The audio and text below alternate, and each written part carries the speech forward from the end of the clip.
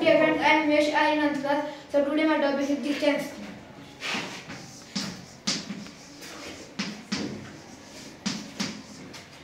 Dear friend, do you know what is distance?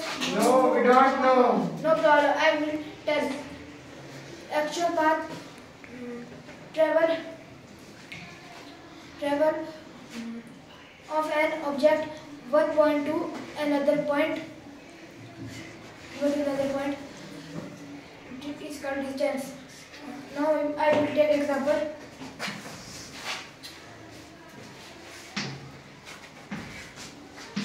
A B.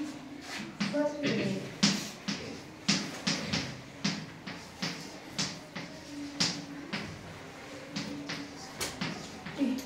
When we go here to here and come again back. So